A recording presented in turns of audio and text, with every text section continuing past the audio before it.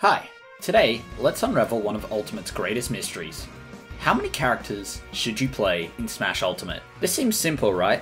Just pick who you like and move on? But no, this is a mystery which is coming up to its fifth year, and it's still unsolved. Let's solve it, or at the very least, discuss why it's such a headache to get a clear cut answer. First step today is to introduce our schools of thought at a competitive level. The mixture of character rosters you'll find. There's a bunch of labels that extend beyond what I'll say, but that's all semantics. So we have solo mains, co-mains, and counter pickers. We're going to first explore what these labels are, their strengths and weaknesses, a case study of each, and finally, we're going to look at the current state of the meta holistically for what it's proving to be most effective. Let's get this show on the road. Ah yes, the simplest one first. A solo main is pretty straightforward. Players who play one character. Examples include Light, Glutonny, Sonix, Big D, and Asimo.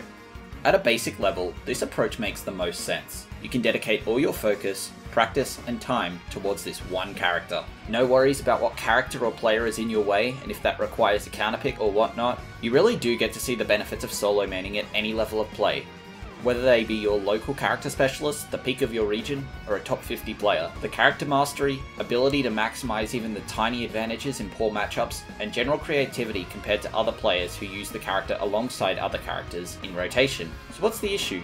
Fairly simple. People get bored. In a roster of 89 characters, it's so hard to stay on one character all the time without getting bored, even in tournaments. The other reason, put simply, is no matter what character you play, and no matter what copium a character specialist tells you, there is no single character in this game that wins or goes even with every other character. But that's on paper. Most solo mains ignore this weakness, as they choose to maximize the small advantages in their losing matchups to work their way through. Think about someone like Peanut. It can be done, but for solo mains, they all understand that depending on how good their character is, they understand the quality of their toolkit determines how hard they'll need to work and how creative they'll need to be to overcome the shortcomings of their character. Overall, solo maining is by far the most effective method to learning the game effectively as one lens for understanding the nuance of the game and allowing mastery over coverage. Our next group up to bat may on first glance seem similar to counterpicking, but there is a difference. Co-maining is the act of playing two characters at an equal level with the assumption that you have two mains. Examples include Tweek, Spargo, ProtoBanham, Shuton, T, and Riddles. This is a method which combats the biggest flaw of solo maining, tackling both the boredom and inability to combat all matchups. This typically, however, isn't seen until higher levels of play, as you're splitting focus on your character roster. Instead of total mastery of a character and being a lens to learn the game, your characters fill specific roles in matchups or when in a pinch in a set. If we think of Smash characters like a toolbox, this is like bringing two different ones onto the worksite as a cautionary measure. What co-maining does is sacrificing proficiency for coverage. So now it's pretty obvious to see where the downsides come from. Maintaining two characters to be bracket ready and to be playing hot from first bounce is a bit tough.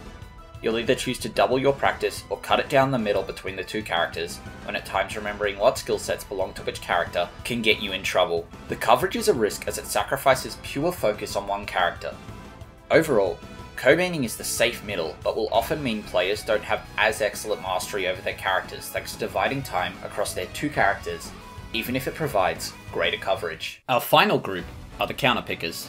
Counterpickers often aren't anchored by a main and weave between their pool of characters based on opponents, stages, or whatever they're feeling on the day. Counterpicking is the act of picking your character based on what decision your opponent has made to counteract it. Examples include MKLeo, Dabuz, Riziasu, Hikaru, and Abadango. If solo maining gives mastery and co-maining gives coverage, counterpicking is like having an advantage on a check in D&D. In theory, you should win in a scenario where you know how your opponent's character and stage will benefit you.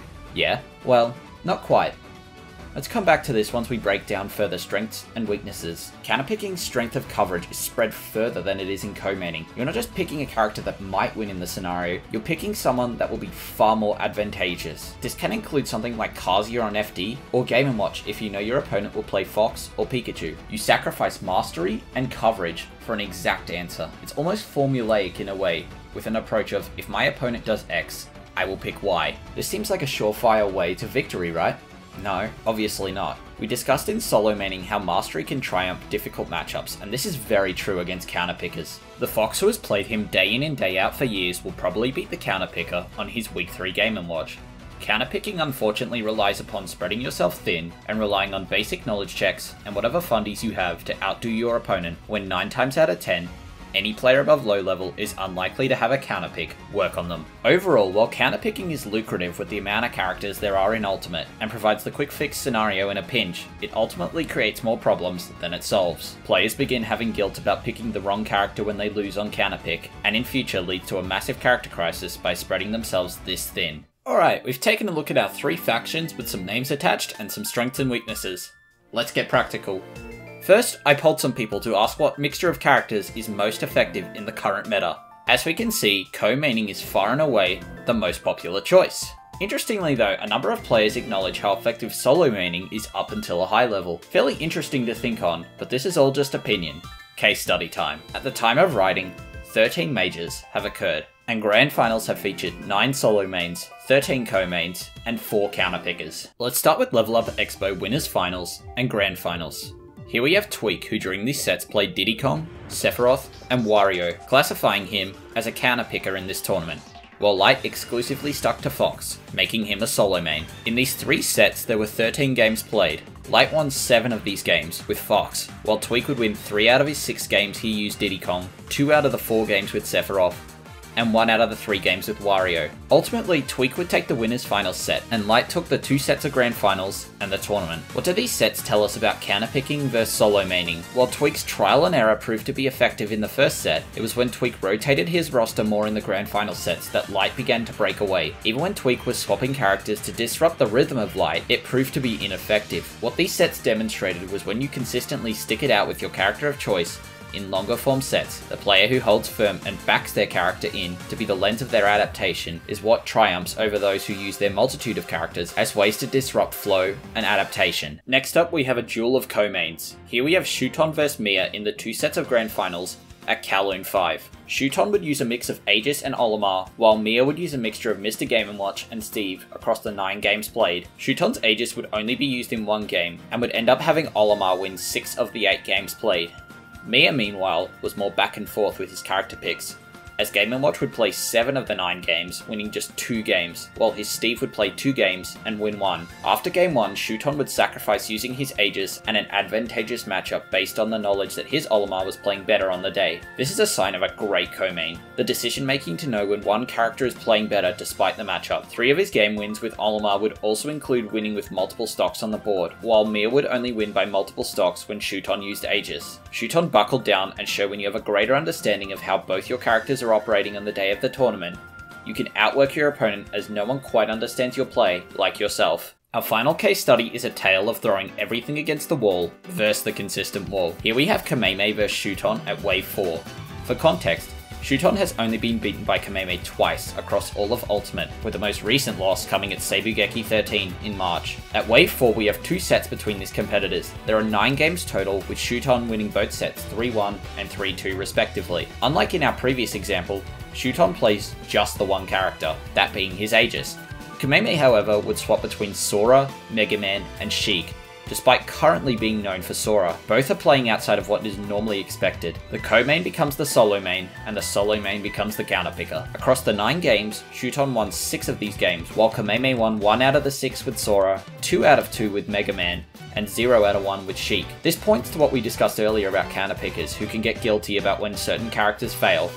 By pure numbers, Kameme should have been playing more Mega Man throughout the sets.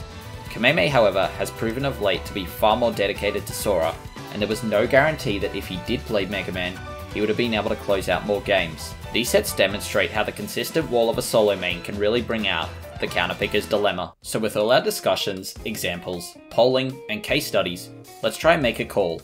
What is the best right now in Smash Ultimate? How many characters should I play? I could say that depends on what's fun for the player, but that's a lame cop-out. Looking at trends of recent results and players, we can deduce that what is proving to be most effective right now is players who can utilize two characters that may have to not only apply coverage, but one character may need to be used even in scenarios where they're not advantageous due to the other character playing cold on the day. Here we are entering the fifth year of Smash Ultimate, and knowledge check picks are becoming exceedingly rare or are proving to be ineffective. Players' second characters need to match the pace of their mains. It's now about being able to have that situational awareness to know that if you're going to risk a character swap, It needs to be purposeful, or it needs to be doing the equivalent role of the main when the main isn't operating at its best. Does this mean everyone should be a co-main? No, absolutely not. What this means, if you are going to be a solo main or a counter picker, you need to understand the inherent risks involved with taking these routes compared to those who choose co-maining and have specific plans for how you'll mitigate those risks.